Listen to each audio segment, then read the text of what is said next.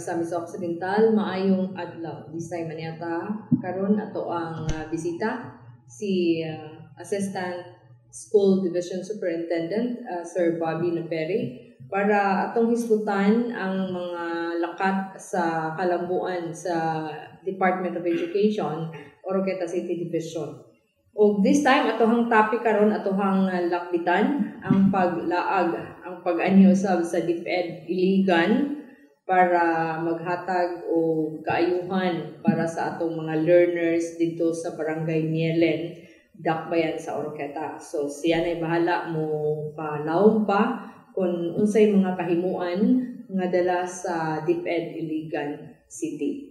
So, before ano na nato madungog, taga na to una og higayon si Sir Bob para usab makatimbaya sa katawhan sa dakbayan sa Oroqueta. Labi na katong mga parents o ang mga learners diri sa tibuok dakbayan. Sir, mayong adlaw. Mayong adlaw kanimo Ma'am Joanne og uh, ako pagtimbaya og akong uh, special greetings sa atong uh, mga viewers uh, ining uh, Oroqueta Community Channel Una, ako nga pag-timbaya sa atong superintendent sa DepEd Oroqueta City Division, Sir Ray Pinaldo Emmanuel Jr., ako mga kaubanan sa opisina at mga division chiefs, Sir Francis sa CID, si Ma'am Perling sa SJOD, o sa atong mga supervisors, sa atong mga school heads, o tanan nga mga magtutudlo sa atong mga tulunghaan diri sa Oroqueta City Division. Of course, ang atong mga learners sa atong uh, elementary o uh, mga secondary schools o atong mga ginikanan sa atong uh, mga uh, sa atong uh, mga estudyante. Yes, sir. Una, uh, sa page ni Mayor, dako kayo niyang kalipay o yung uh, gipasalamatan ang uh, mga kawani sa DepEd, Division of Edu- uh, Division Department of Education, Iligan City Division nga mi anhi diri nagatod og kaayuhan dinhi sa dakbayan ilabi natong sa barangay Mielen kay usa sila sa apektado sa ato ang pagbaha o pagbuho, pag pagdahili sa atohang yuta. Dito tong uh, panahon sa December. Pwede na to, sir, ma masaysay kuno sa ilahang katuyuan. Yes, Ma'am Joanne. Uh, una, uh, dako gyud ang, ang ato nga pagpasalamat sa ato ang uh, uh, mga friends yes. no from uh, DepEd uh, Division of Iligan City og uh, ato gid paabot uh, sama sa pagpaabot mm-hmm. sa pagpasalamat ni Mayor Lemuel uh, kanila mausap ang pagpaabot sa DepEd Roqueta City Division una sa City Mayor sa Iligan yes. uh, Frederick Shaw o uh, sa superintendent sa Iligan City Division si Sir Roy Angelo Gazo o ang ilang ESDS si Ma'am Shambe Usman uh, sa ilang pagtugot mm. nga makaabot dinhi moanhi dinhi ang ilang mga DepEd personnel aron nga pag uh, pagpaabot sa ilahang tabang dito sa ato ang mga magtutun uh, magtutungha sa ato mga learners ug sa ato usab magtutudlo yes. sa Saransyal Mialin Elementary School nga naa din ha sa atong barangay Melin nga uh, heavily affected yes. sa atong katong nahitabo nga extensive flooding last uh, December uh, 2020. Landslide. Oh, na napagi landslides no. O sa mga nakaadto na dito sa Barangay Melin, approaching Barangay Melin Ma'am Joan, uh, dili gyud ingon nga maayo ang uh, ang dalan kay nakaibalo kita sa nahitabo sa mga tulay o mga kadalanan nga nang, nangaguba no? Kay dako-dako dito nga pag nga buhawi no? Nga dili niabot dito. dili sad sayon ang pag-adto sa barangay yes. Mielin pagkakaroon sir. Correct. Mm. uh, ang ang lugar ang barangay Mielin ang uh, pwede ra dito ka nagitawag nato kana mga motorcycle or habal-habal no? O uh, kinahanglan hinay-hinay lang pod mm. kay uh, dili pa gyud ingana ka ka kalig-on no? Ang mga tulay. ipang ipang tukod uh, naganitay usa ka dako-dako dito nga motorcycle nga nga habal-habal motor motorcycle nga uh, wala gi allow tungod sa kabug-aton no dako-dako siya. Ug uh, dili capable ang maong tulay sir unsay uh, di ba ang ato na baluan ang barang uh, ang eskwelahan sa barangay Milen usa sa dako gyud nga na na na ay na kaangkon nga kadaot sa maong pagbaha o katong pagdahili sa yuta sa mga unsa ilahang gi unsa ilang tumong pag-abot dito? Ah, una, nalipay kami sa DepEd Oroquieta City Division kay sila gyud ang una nga nipadangat sa pagkabalo nila nga mao to'y nahitabo. Ah, nagpadayag sila nga mutabang sila. Not only actually financially Ma'am Joanne but uh, they also signified to send their people to help us in our recovery. ah okay. Sama sa unsa sa sa ilahang Una, ah, nagpadala sila og ilahang mga personnel aron mutabang sa pagpaghinlo mga clean up operations so Okay. kita mga gitawag nga bayanihan nga na sila yung mga group of ah, personnel composed of mga supervisors, mm. mga school heads, mga teachers and even ilahang mga office staff. So niani sila sa atoa atong January 19 and 20 Mm. Ang first group nila nga gipadala nga mo himo sa gitawag atong brigada o eskwela for cleanup operations 11 sila ka buo Ah, dito sila sa Talik Elementary School ug sa Vicente Flores Memorial Elementary School kapalo kita Ma'am Joanne nga kini nga mga barangays were really badly hit di ba Yes. kining Tabok Norte ang Talik Talik. so dito sila nag-perform sila clean up Mm. No ubay-ubay dito ang ilahang ah, natabang sa pagpanghinlo sa atong mga classrooms ug sa even sa vicinity sa atong eskwelahan Ma'am Joanne. So, ang sa barangay Mielen, ikatulo na to. Oh, so ah, ang katong group.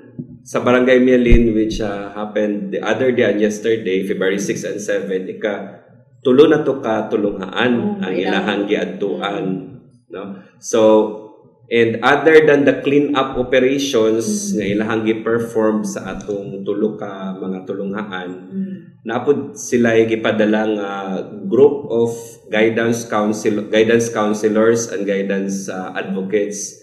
So kining grupuha nag-provide kini og psychological first aid or PFA Sa mga kabataan. sa atong mga kabataan katong mga naay mga traumatic experience Oo. during sa flooding. katong mga affected yun no affected sa flood so una katong first group Mm. katong January 19 and 20 so naghatag sila sa nag-perform sa PFA sa mga learners nato dinha sa Talik Elementary School Ah, a total of 284 of the learners of ah, Talik Elementary School were provided by PFA So ang gihimo nga katong psychological ah, First aid. first aid, dako kay to siya tabang sa atong mga Yes. learners sir. Oo.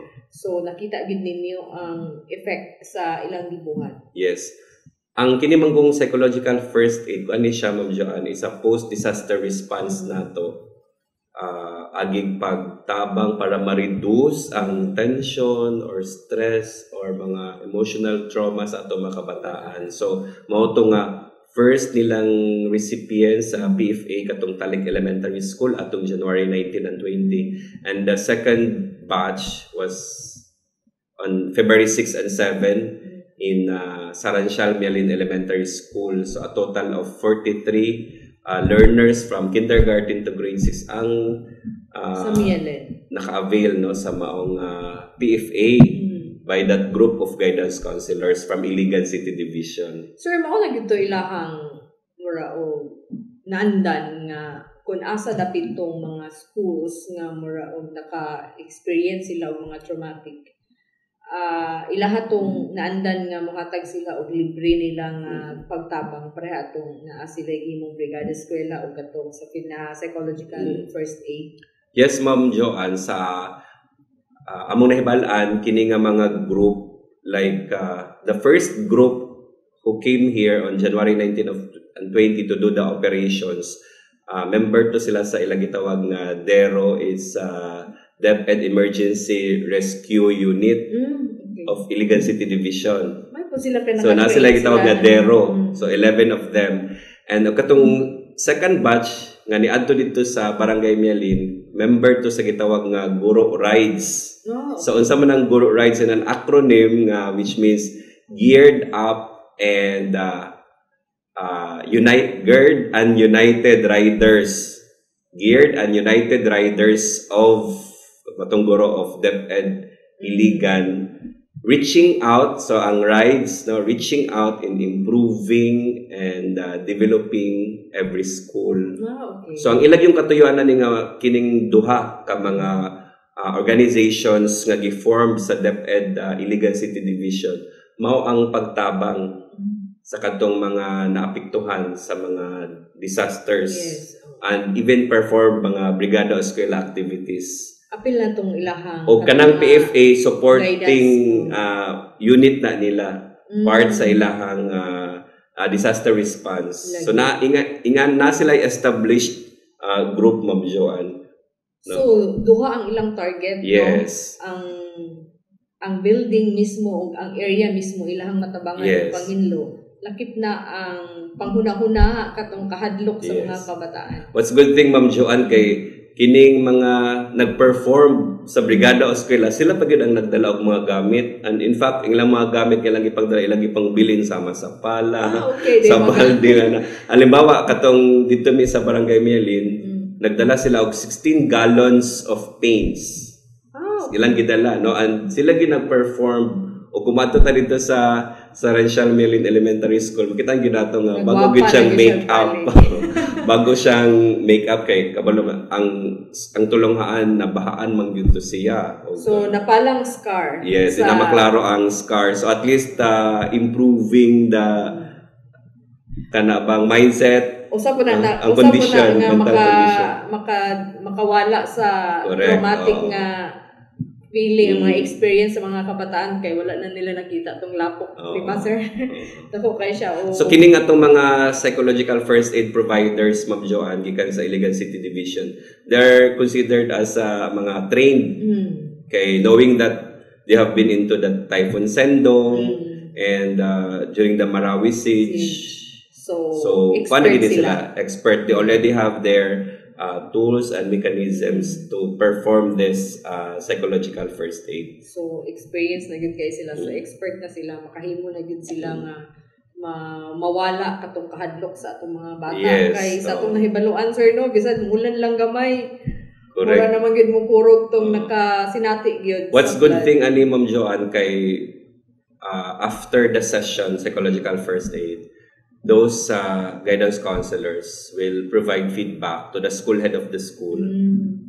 on as to who among those children or learners need further help. O, para na ay support Yes. action Oo. sa DepEd. So, di na mo maglisod tungod kay follow na lang ninyo Yes. kung sa ilahang mga findings. Kay not only we provide them with kanang mga relief goods, Mm. but I think they also need uh, emotional support Mm. through this uh, psychological first aid. Okay. Di man sila experts, sir. Yes. So, ah ang ilahang grupo murag maka admirable jud siya Yes. no kay nakahatag man gid sila o kaayuhan o kalambuan sa maong Mm. mga apektado nga areas. Sir, ah sa inyong mga side unsa inyong mahatag pod nga support sa ilahang nabuhat didto sa ilahang nangaagian nga mga schools? Ah, kita diri sa sa Oroqueta City Division na kita gi-establish sa atong superintendent nga gitawag nato the SEAL and SWAT Mm. team which uh, kini gid- basically kining two teams are designed to to address issues and concerns sa kanang mga disasters and in fact Same sa ilang yes group. forming the, although dili pa kay nga nakasabi siya nga to Mm. ang PFA provision but as to mga disaster response uh, for cleanup operations na we already have this uh, group and in fact uh, part pod nakiguban sa atong Iligan City Division ng ato ang members Mm. sa kadtong uh, emergency team Yes. from uh, from our division Division. Moto ni si Motong to ami Pamilya dito. Motong dito ka na ko nakita. Yes, nga na po si Sir Tammy, si Sir Almi, si Sir Luther. So, for uh, kwanto siya emergency team nato sa atong division. Sa ninyong pag-contact nila, na may connection nila or sila yun mismo hin-connect ninyo para mo-offer sa ilahang mga services? Kay kita sa kami sa DepEd we consider kana bang family, Okay. no? And when they knew about what had happened sa atong uh, lugar, sila gid mismo ang nagpadayan. Mm. So they sent us a message if uh, pwede sila mo render Mm. Perform mga cleanup operations sa atong mga affected schools Yes. and do the psychological first aid. Sila gid mismo, Ma'am Joanne. Ahing offer. Ah, yes. Unsay uh, reaction ni Mayor sir? Uh, unsa po'y iyahang uh, pag-welcome, unsa niya pag-welcome ang atong mga Kuan, sa unan. ah, si Mayor upon knowing nga na di atong mga partners, friends from uh, Iligan City Division right after the City School Board meeting yesterday, uh, February 7, Yes. nagpadayag siya nga makikita sa atong mga partners from Iligan City Division aron magpaabot siya sa pagpasalamat. Mm. So, right after the City School Board meeting and uh, just in time, ang atong mga friends from Iligan City Division nagbaba from Yalin Ah, okay. and uh, went to the division office. So, naka-audience ang ato ang uh, mayor o uh, nagpadayag yun no, ex, uh, sincerely expressing siya pagpasalamat uh, sa Iligan City Division no, sa pag-render atong mga services sa Barangay Milin. Nakita sa na nato sa iyang post sa Yes. FB page nga talagsaon ang gihimo nila nga ma- ma-consider nato nga heroic deed Yes. sa tama. mga taga uh, DepEd Iligan kay sayon ka layo pa kay itong Iligan sir din Yes. pagin siya sa atohang barangay Milin nga lisod pa kayong agianan for pila ka days sila nagstay For two days. Okay. Two days sila nag-perform sa So, clean night. up. And one, oh, one night. dito sila ga Dito gid sila natulog sa oskilahan. Nag-immersion gid sila. mm, No? Nag-immersion sila dito. motoy Nabati gid nila Ma'am Joanne ang uh, kahimtang. sakripisyo gid Oo. pud nila no kay Correct. mga mga kan sila god supervisor di ba Supervisors, mga school heads and teachers and staff, office staff. Munay tawag na to nga na sila passion gud sa ilang Correct. trabaho kay ang pagana palang daan sa area nga layo kay asa sila dapit na himutang is a sacrifice. Yes, correct. So as uh, connect connect po na siya, patay po na siya sa atohang nagsingabot nga pag-celebrate sa atohang Valentine's Yes, Day. gugma. Gugma. Sakto gid kana Ma'am Joanne. Marag mao na yung best word Oh, to describe uh, gugma. na, nagin sila dakong gugma. I think uh, una-una ilahang gugma sa mga kabataan. Yes. Nga bisag dili ilaha but as long as they're children. Mm. Mao mo ginato di ba? Kana Yes. batang ang atong gugma sa mga kabataan na, So, na naagid na. As teacher, sir, para sa inyo ha, nagservisyo mga mga kabataan agid mo ana. Yes, naagid na. So, do, lahi-lahi sad mo og paagi kung saan ninyo pag-express Yes. sa inyong love sa inyong mga learners. So, naapod mo sa inyong uh, side, sa inyong uh, division din Mm. sa Oroqueta, naapod mo ilain nga paagi nga Yes. naka-express ng love sa inyong mga learners. Mm. So, na-feel ko na sa atong mga kabataan o mga ginikanan. Sir, na kay gustong mensahe nga gustong ipaabot po sa ato ang mga learners ilabi na tong mga naa nga butang gyud sa mga ah, badly hit sa atohang flood uh, pwede nimo sir mapaabot sa ila Ah, dili sayo no ang nahimong kaagi ah, sa ato mga kabataan atong nahitabo nga extensive flooding last time, December 2022. O nabati na nabati na ako, nabati namong tanan. Ah, in fact kita sa Department of Education nakita yung mga ginahi- gihimo o ginahimo nga mga lakang o usa niini ang pagsabot sa mga kahimtang sa atong mga kabataan. Ah, bisan karon di pagid sa pagkaron di pagid mawala ang mga kabalaka. O please know our dear learners nga ang ah, ang inyong mga magtutudlo, ang inyong mga ang inyong mga school administrators uh, naa kanunay no naa kanunay ah, andam nga mo muhatag ah, sa serbisyo Ah, please ah, be assured nga kung unsa man gani nga mga services nga inyohang uh, gikinahanglan ayaw kamo kaulaw pagduol no sa ato ang ah, mga magtutudlo kana siguro ma'am Joanne Okay. Dahan kayong salamat, sir. Atong nadungog si Assistant School Division Superintendent Bobby Naperi ah para sa iyang mensahe para sa atong mga learners din sa Tibuok, Oroqueta City.